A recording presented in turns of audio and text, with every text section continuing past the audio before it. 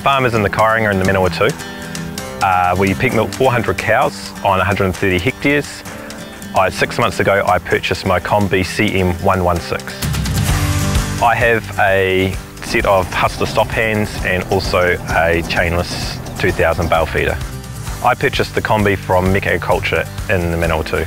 I spent about six months looking through what I was going to purchase. I saw the features on this and they presented me with the Combi as an option. It just does everything. One of the great features I like about the Combi wagon is the roller chain it has. Uh, my previous wagons have had link chain and they've always stretched and have issues. The roller chain is fantastic. All the grease nipples, you just walk around and grease the whole thing. You're not crawling underneath it to the axles or the hubs or anything along those lines. Underneath the, the panel at the front has all the control valves for making adjustments. When you get clumps of feed coming over, you can pause it so it falls evenly and then you can unpause it and it carries on. So the savings having this combi wagon is I can feed out everything with it. Not using multiple tractors, not using multiple vehicles, having more machinery to grease and repair and maintain.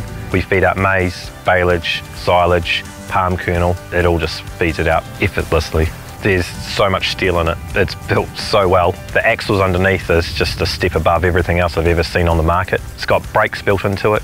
Uh, other farmers have asked me about why I decided to buy the Combi wagon and I just tell them it does everything. It's fantastic and it's, yeah, a one-stop shop.